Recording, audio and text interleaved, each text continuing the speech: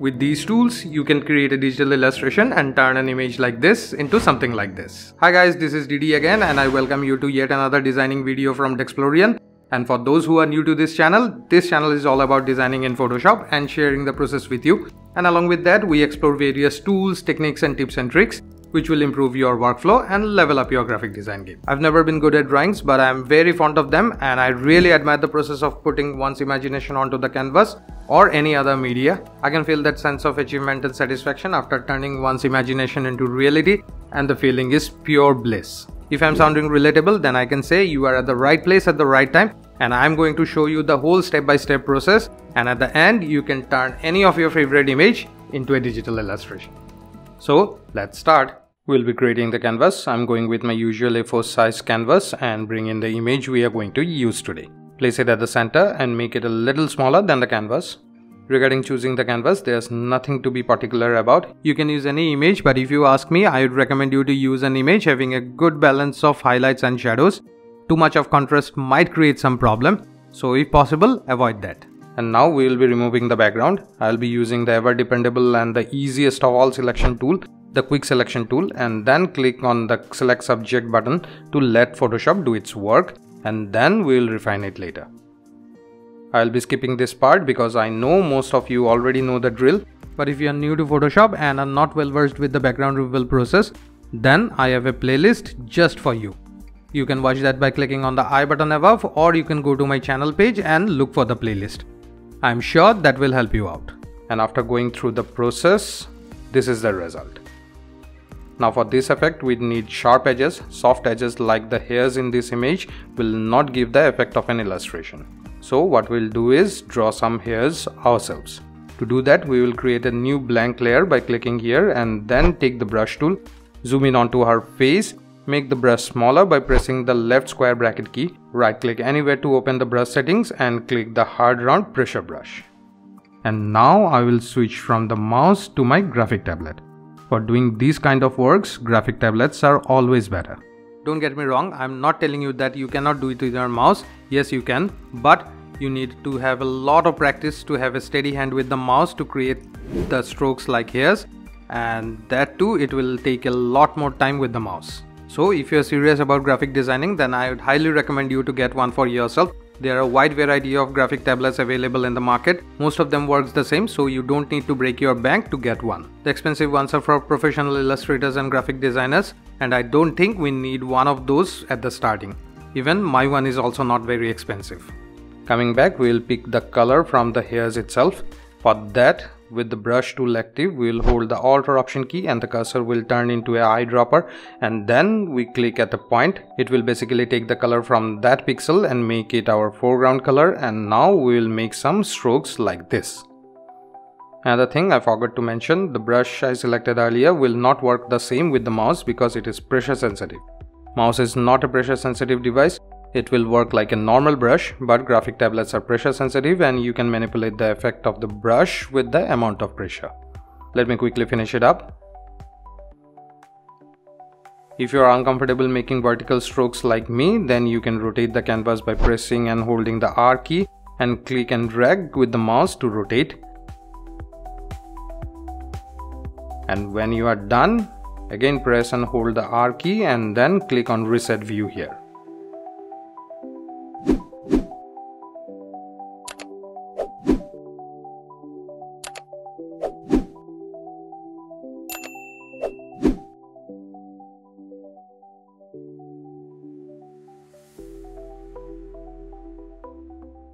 I am done. Now I will be adding a border or outline around our subject and since the background of our image was darker than our subject, this trick will work. If the background in your image is lighter, then it might not work. We'll activate the selection of the subject by holding the controller command key and clicking on the layer mask and go to the select menu, then modify and then click on expand. We'll expand the selection by 5 pixels we'll also make the selection a bit smooth and for that again go to select modify and this time click on smooth 15 is way higher let's make it 10 now we'll select the layer mask again and take the brush tool change the foreground color to white by pressing the X key and paint along the edges to bring back the background We'll leave out the hair areas and do it only along the body. Press Ctrl or Command D to deselect. I'll do some refinements here and there.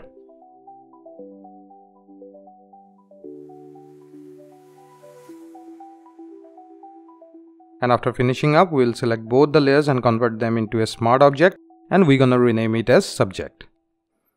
Now we are ready to apply the effect. We'll start off by making a duplicate of the subject layer by pressing Ctrl or Command J and then we will add a hue and saturation adjustment layer on top of the subject layers and bring the saturation all the way down. It will turn our image into a black and white. Then we select the subject copy layer and press Ctrl or Command I to invert it and then change its blend mode to color dodge. Everything will turn white. Then we go to filter then blur and click on Gaussian blur. Our sketch is starting to show up. We'll adjust this blur radius slider to get the desired effect.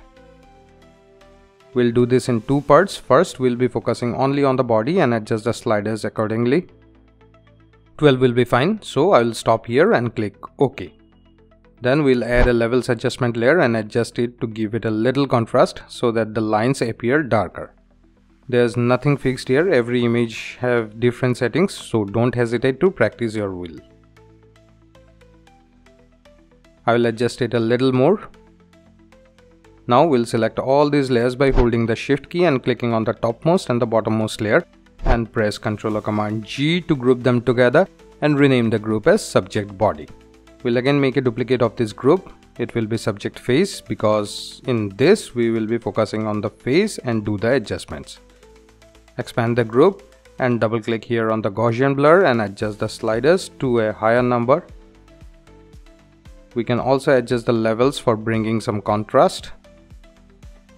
This is okay for me then we'll add a layer mask to the subject face group and take the brush tool, make the brush bigger by pressing the right square bracket key, change the foreground color to black and we'll paint to hide the body area. For this neck area, we'll take the soft round brush and make the brush smaller.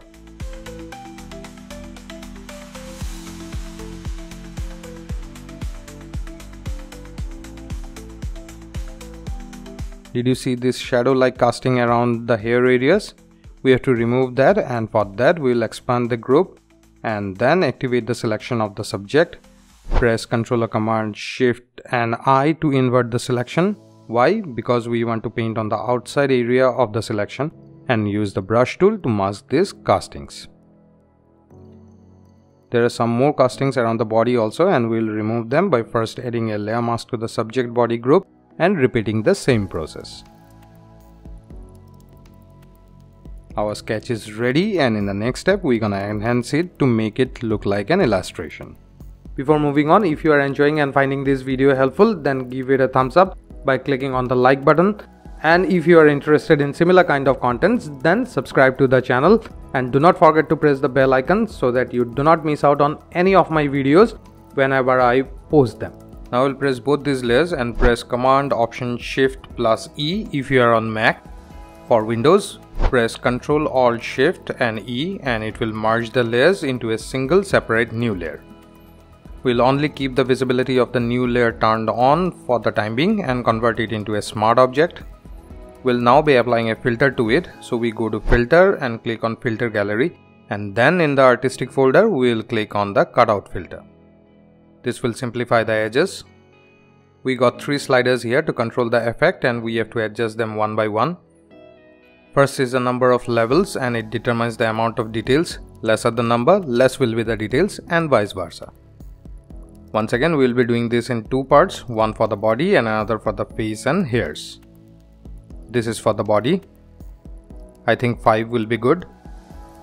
Next is the edge simplicity and this will basically determine the shape of the edges if you want it detailed, keep it at lower number and if you want it simple and sharp, set it high. I will keep it at 6. And lastly, edge fidelity is all about the jaggedness of the edges. I usually keep it unchanged. We'll hit OK. We are done with the body. We'll turn back on the visibility of the other two layers and select the layer 1 and press Ctrl or Command J to make a copy and double click here on the filter gallery of the new copied layer and adjust these sliders again to add little more details on the face and hairs. We'll collapse the filters and rename the layers to avoid any confusions.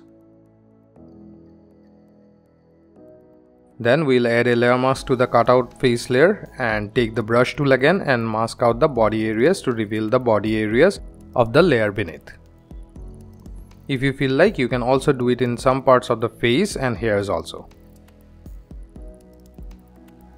I want a little more details on the face so what I'll do is select both the cutout layers and press Ctrl Command G to group them together and rename it as cutout and add a layer mask to it and again use the brush tool to reveal some more details from the layers beneath, especially the eyes and the lips. I will do it in some more areas.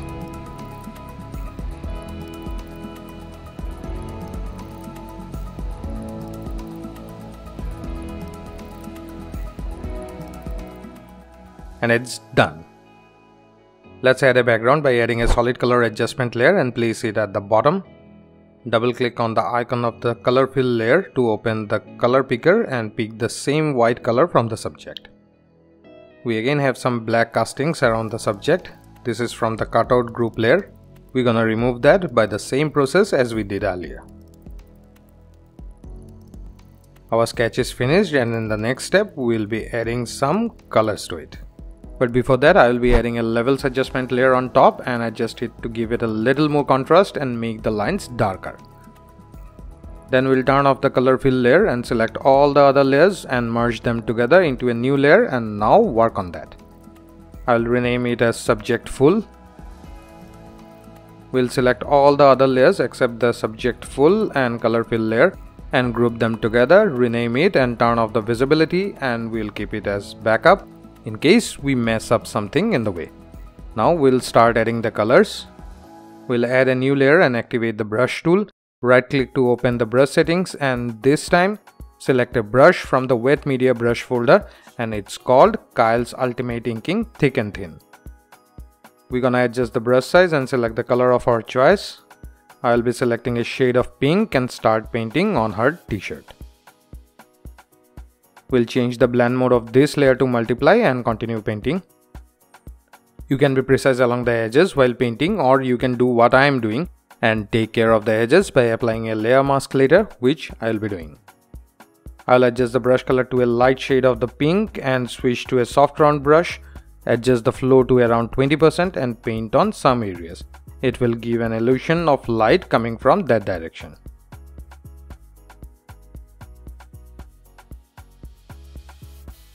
And now we'll clip this layer to the subject layer and all the outside extras are gone but we still have to work on these areas so we'll add a layer mask to this layer and take the hard round brush and mask out the extras like this.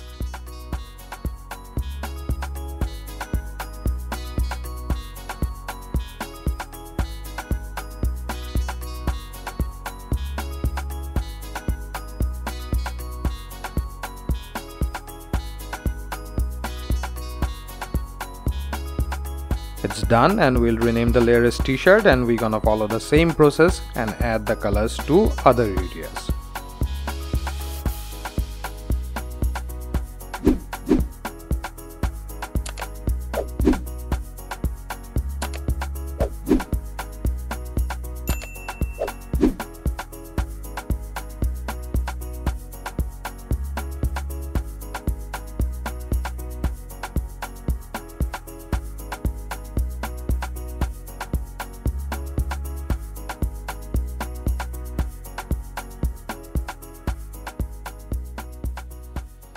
I'm done and now we'll select these three color layers and the subject full layer and again merge them into a new layer.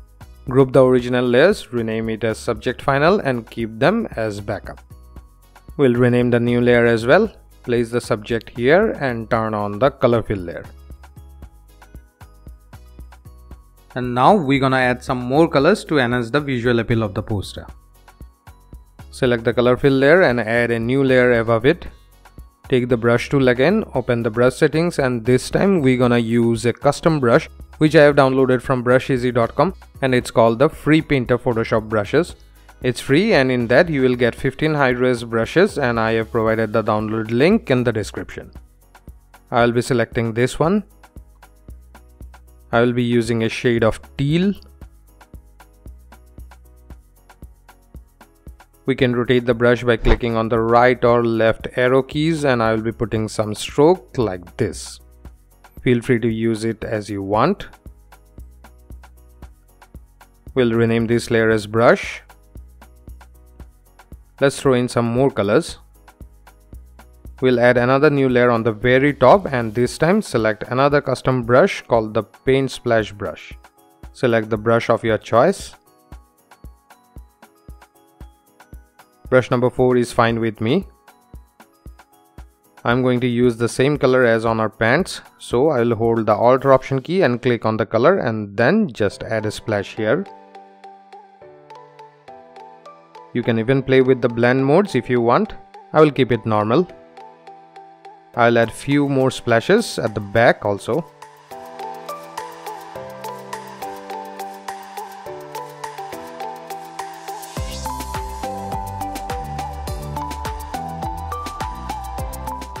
I'll stop here but you can go on till you are satisfied. And lastly, we'll rename the layers and move on to the next step where we'll be adding some text. For that, we'll select the topmost layer because we want to place our text at the top and then click here to activate the text tool and then click anywhere on the canvas to add the text. Type in our text. For this, I'll be using a font called Coffee Soda. I downloaded it from fontesk.com it's free and you can use it in any of your projects. Make it bigger and place it here. We'll double click here on the blank space of the text layer to open the layer styles dialog box and bring down the fill opacity to 0 and then click on the drop shadow. Here we have all the settings and controls of the drop shadow. You can change the opacity if you want. All the sliders are pretty self-explanatory. I have added a little bit of noise to give it a natural look play around and experiment your way to achieve the desired results. This gap is too much, so I'll reduce the space between the characters. This is fine. I'm going to add some more text. In this, I will apply a stroke effect.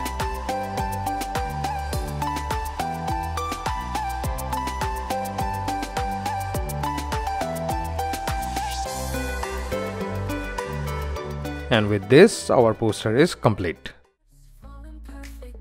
How is it?